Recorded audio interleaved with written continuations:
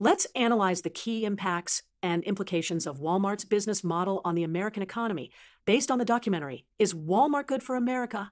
One of the most surprising revelations is Walmart's enormous influence on global supply chains. The company's strategy involves sourcing products from overseas manufacturers, particularly in China, to maintain low prices.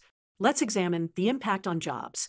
New jobs are created in logistics, retail, and supply chain management.